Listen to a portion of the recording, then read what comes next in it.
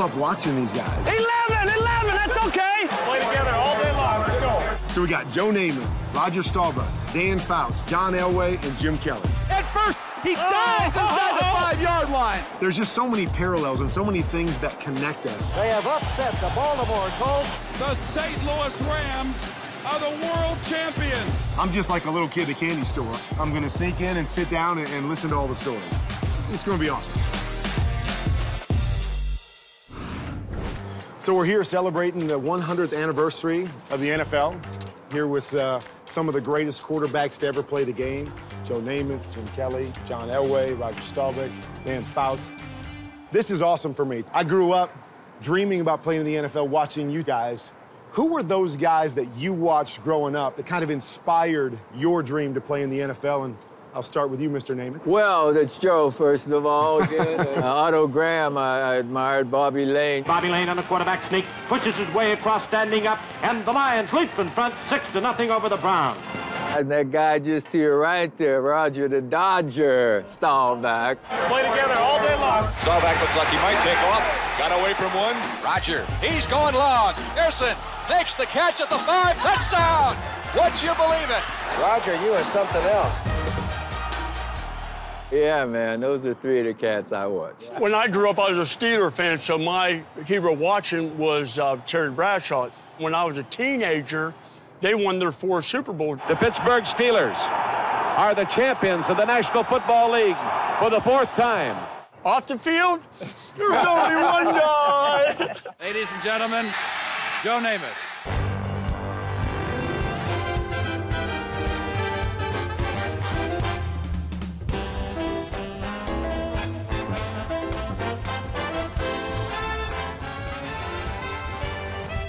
Don't want one of those fur coats. Oh, yeah, exactly. And pantyhose and all those things. Well, I, you know, heck, I again, I'm like Jim in the fact that I'm in awe of the guys I'm sitting at the table with, and you know, really made the position what it is today. And and uh, you know, I was a big, huge Cowboy fan, so Roger was a big, you know, uh, my idol when I was growing up. You know, not with the Cowboys, but how we played the game, and and uh, you know, kind of my game's a little bit tailored after his. I had the ability to get out and move around a little bit, and I think Roger started that. I had a chance to play against Dan late in his career, and we were always trying to catch him because he was throwing those touchdown passes. Bounce back. He drills one. Touchdown, Chargers! I was still in the Navy watching Joe Namath change the whole league when they uh, they won the big game there and Super Bowl three, right? And it was it was a big deal. John and I have talked back and forth before, and I admired him uh, the way he played. He he ran. You know, people criticize my running sometimes, and but I, I tried to uh, do it under control. Well, I was lucky uh, growing up because my dad was the voice of the 49ers, Bob Fouts. I got to know Y.A. Tittle. Tittle throws, going downfield near the goal line. He goes up. He's got it. A great catch. The 49ers. They got. But the guy that influenced me more than anybody was Johnny Unitas. And I was fortunate enough one year in San Diego, he was traded to the Chargers my rookie year. And uh, for some reason, he took a liking to me. And, you know, as long as I kept buying him beers, I was in good shape. So, uh, but he taught me so much about the nuances, you know, reading this way, read that safety. His, where is he? Where's that corner? Uh, and then if you think about the hurry-up offense or, or the timing routes, Unitas had a big part in the development of all those things. And fact that I could be in the same locker with Johnny U. I hear you. It was fantastic. Mahomes spinning right. Touchdown! Rodgers rainbows deep down the middle. Touchdown, Green Bay! A bullet from Deshaun Watson. Touchdown! Seahawks! Rock and roll. Another spectacular throw. You know, we're here, we're out talking about how great we were and everything. and there's so many entertaining quarterbacks nowadays, and the guys that can run and guys with great arms. What has impressed you guys about this young crop? The athleticism, again, of the animals so much bigger, stronger, faster. I think the training methods are so much better over the years. These guys are spending so much more time honing their skills in the off season. It's faster, it's quicker. Uh, the shotgun, getting the ball out of there quickly has changed the game. I think the game is really good today. I, I really feel I could play in the game today, too. Uh, the rules, you know, you're not supposed to hit people past a few yards now. but it's still, back in the old days, you know, I'd be getting ready to throw the ball, and all of a sudden, Drew Pearson would be cold cocked in the middle of the field, you know. So some of the rules would be fun to play today, and you've got to be able to, as a quarterback, you got to transfer your confidence to your teammates. And it's not just about your arm, it's uh, how you move around, it's your leadership. If the players do not believe in their quarterback, the way the league is set up today, they're in trouble. It's time to finish strong and hold up this trophy for this group, for our city. Let's go, baby, from the top. One, two, three, three, four, I know I find myself gravitating to Drew Brees and the Tom Brady's because I can associate with playing in the pocket, not moving outside. And so it's just like, I, I love the way those guys play. Let's go! Hey, take my hat off to Tom Brady. What a play by Brady! Nice job! Brady throws it to the end zone. Leaping! Brady has got amazing ability to read the defense quickly and going to the right receiver. I mean, because you don't have a whole lot, lot of extra time anymore. Well, the other part of it, he's been in the same system forever. Bingo. And, Yeah. if, and if you think of your career, your career, your, you were in the same system. And that means, you know, the saying, coach on the field, well, no kidding. He's smarter than the coach on the field because he's been in that huddle, he's been in that pocket trying to get it done, but he knows how to do it because he's been Yeah. there before. He's seen everything. You know, from what I've surmised after watching Tom, he's had some great opportunities because of his team and his experience, and he's owned up. He has stepped up. He's answered that challenge more times than anybody, and he's brilliant. And if you Right. got to say who's the best of all time, well, given the numbers being the championship, Tom is. Yeah. But still, you go back, man. I mean, Montana was special, Bradshaw was special. No you know, these guys are special. What a pass by Kurt Warner. Namath goes back to pass. He's in. Touchdown. Get in there, get in there. Staubach drops back to pass, sets up, pass to end zone, touchdown! Come on, run out of the brakes now. This could be the year of Jim Kelly. It really could be. So talking about the history, talk about people that influenced us. Take me back to your first NFL memory, whatever that was. Going to a game, watching something on TV. What was your first NFL memory? You know, uh, actually, with the two leagues, there was really my first memory is some people didn't like us, and the veterans on the Jets didn't like them, and there was an animosity between the two leagues. What would it take to uh, end the uh, contention between these two leagues and to achieve a common draft, in your opinion? Well, I may shock you, Bill, but I think it's going to take a more mature part on the part of some of the NFL people. Otherwise, going back, it was watching Johnny U. Uh, Sunday was always football day, and Yep. there was just uh, one or two games on. But my father and I'd sit in that living room and watch the games. And uh, as a youngster, I'd say pass or run, and that's it.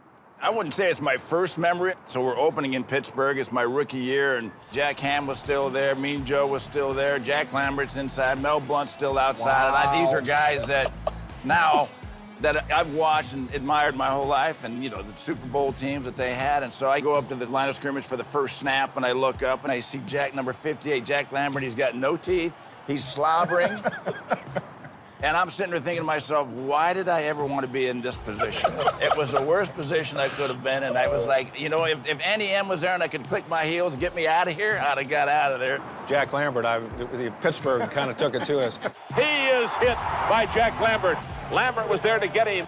Yeah, I've, I've had you know I've had a few nightmares. My wife was worried about them, and it's usually I pictured Jack Lambert with no teeth there, looking over the line of scrimmage. yeah. he was a great player, same but I tell you, you, I wish he was on my team, but I didn't like him. No, I know it. My first ever game in the NFL, and we're playing the Jets, and that's back in New York Sack Exchange with Mark Gastineau, Marty Lyons, and Joe Klecko. Personal foul after he tackled the quarterback. He's giving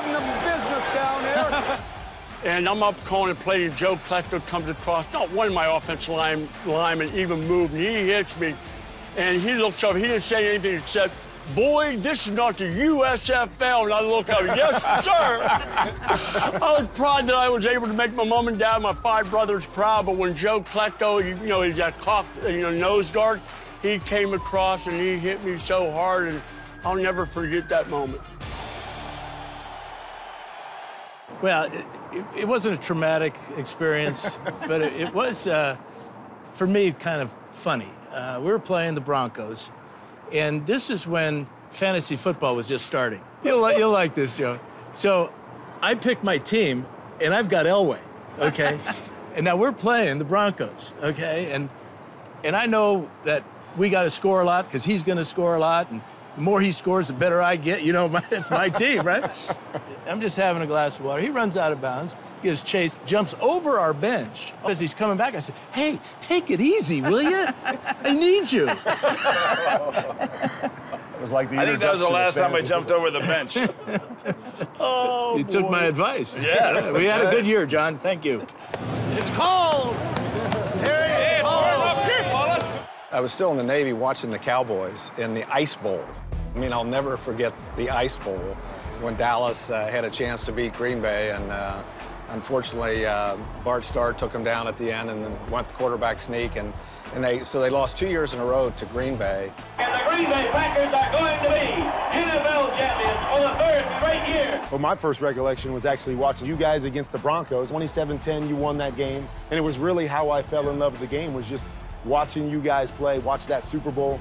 Would play the Super Bowl in my front yard, you know, get to halftime, I'd run out there, put a jersey on with whoever was playing in the Super Bowl, play it, come back in in the second half, and just watch the finish of the game. But Yeah. that's how I fell in love with it, was watching you play in that Super Bowl. What an effort. A 45-yard touchdown shot from Staubach. I know we all look around and we, you know, we admire all the people at this table. Is there something about one of these other quarterbacks that you say, man, I wish I had that as a part of my game?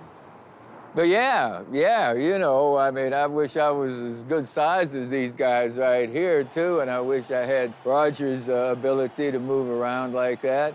You did it better as well as anybody that's ever done it. That's was- why we got that gold jacket. That was one of the things I admired. How old were you when you started your first game in the NFL? I was 27 as a 27 as- years as old. I got rookie, into the league when I was 27 as well, something that I, I really admired about you. Well, I mean, I, I look at Jim. I think when you know, we with us being contemporaries and him coming out of the USFL and throwing the football as much as he did there, but then also going, you know, to Buffalo when you had the K gun and opened things up. You kind of started that there, and so as a contemporary, it was you know fun for me to watch you and wish that I could be able to throw the ball around like you did. And I still think what we're doing today is a big part of what you did when you uh, when you started that back in mid that, 80s. and that was that was fun because Marv allowed me to call the plays, and uh, I know that there's a lot of quarterbacks. Maybe nowadays I'm not sure. Back when I played, probably would love to have been able to do that. And when I heard of coaches sometimes not allowing quarterbacks to audible, that to me is nonsense. Why wouldn't you allow your quarterback, especially in times where you know the clock's running down and they're calling timeout? Call your own play. Dan, your ability and timing back in the day, and have a little bit of a connection with the Air Coryell. That's where Mike Martz, the greatest show on turf, but you kind of were the greatest show on turf before the greatest show on turf. Fouts back, setting up. He drills one. Touchdown, Chargers! Fouts touchdown pass. Throws the pass over the middle. He's got his windman touchdown. I just remember thinking, gosh, he throws that bang eight so beautifully. You know, even when he backpedaled, you guys, like, it's like, I don't know how he does it when he's backpedaling out and sticking that foot, but just something that I admired and said, man, the way he gets the ball out on time, no matter what happens in front of him, was something that I looked at and said, man, I hope one day I get an opportunity to, to play like that. Work the middle, True. Work the middle on that. Throws it toward the end zone. Touchdown, San Diego. What a fantastic play by Jeff Kelly. He runs, he dives, he drives. Touchdown, Cowboys win. Elway leads the Broncos 98 yards. Rainbows the far sideline. Caught by Isaac Bruce. Touchdown, Rams! touchdown up there. He is looking, he is going to throw long for Don Maynard. And Maynard makes the catch. And there Have won the American Football League Championship. Phenomenon of the day is Roger Staubach. Just watch this game of hare and hounds.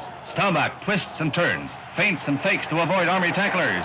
There's two games in my life that I look back was the most nervous I've ever been. The 1962 Army Navy game was the most nervous I've ever been in any football game until we played in Super Bowl six against the Miami Dolphins because we could not win the big game. And when we played in Super Bowl six and won that game, I was a nervous wreck before the game. Coach Landry, even after the game, Walt Garrison had said, uh, you ever see Coach Landry smile? And he said, no, but I've only been here nine years.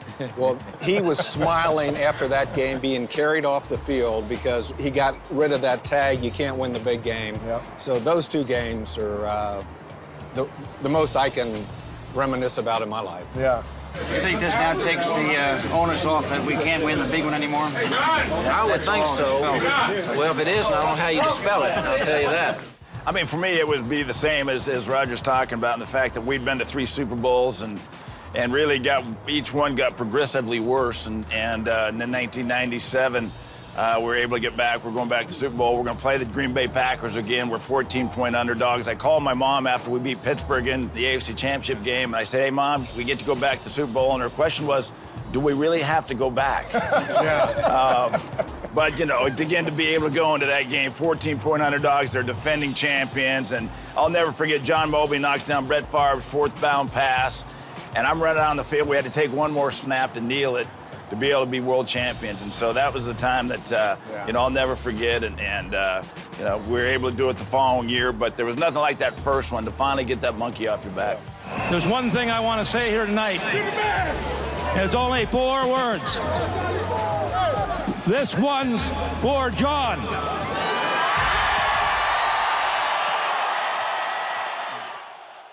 Mine was uh, when I retired. I looked back on my career and thought about uh, the people I played with and knowing that we made it to four Super Bowls in a row. It wasn't just That's phenomenal. It wasn't That just getting to four Super Bowls. We did it in a row, and as we all know at this table, to get there is very, very tough. But to be able to mentally get yourself ready after you lose two and then you lose your third one, because you're going to hear all the negativity. You're going to hear, oh, not the Buffalo Bills back there.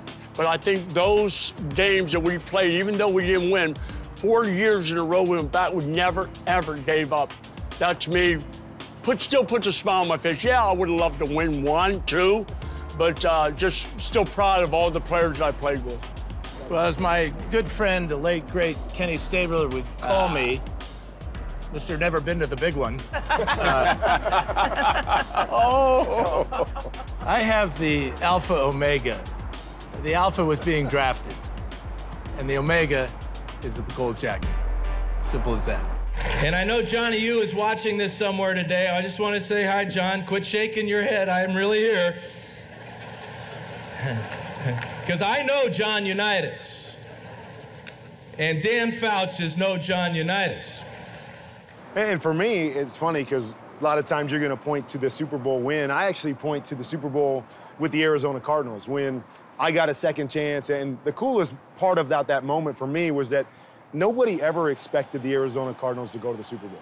I mean, there were even people in the organization when we were getting off the plane, they're going, really? Is this, is this real? Are we here? So to be able to watch uh, a group of men that never thought they would be here, organization, ownership, all the way down, was really one of the coolest moments. And in conjunction with that, I won the Walter Payton Man of the Year and was presented that at the game. So to have all that come together at that moment was probably one of the most memorable moments of my career.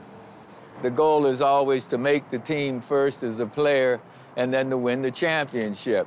And doing that on the earlier levels and then professionally with the New York Jets, man, and uh, being American Football League and having lost the first two championship games, there was some not added pressure, but you know when you lose three in a row, uh, you lose a lot of respect from everyone. So we didn't put pressure on ourselves for that game, but that, that particular game uh, is certainly a part of my life that I'm thrilled with, and we did it, and I'm Well, you thankful had to win it because you guaranteed it, though. Namath has not been bashful this week, and he has said that the Jets are going to win. He doesn't even predict it. He said, I guarantee. But you talk about not putting any pressure on it. You guaranteed to the world you were going to win. That's a little bit of pressure right there. And afterwards, I was asked, what if we didn't win? And I didn't even hesitate. You get knocked down, but you don't stay there. You get back up. Had we lost that game, all right, we're going back to work. We're going to win it the next time. The New York Jets are the world champions. Welcome back, everybody. I am Eagle Hall of Famer Dan Fouts. We need to do it, so I'll, I'll sure uh, I'll get it done. This one's for Pat! Now, I know what most of you guys are doing, but the old guy down there on the end, Mr. Namath, What have you been up to? Well, uh, I've been working out hustling a book. I, have written a book. I figured uh, my life's going to be 100 years, and I've got this uh, opportunity to do a book because of our 50th anniversary of winning the championship and all that my life in four quarters, all the way my life in four quarters. And I'm only in just starting the fourth quarter. I'm trying to ask Roger for some advice on what it's like going into that and running it. Well, fellas, this is awesome. I, I could sit here all day and listen to your stories. I respect all of you for who you are and what you've accomplished. I appreciate you all. It's been awesome spending some time with you guys.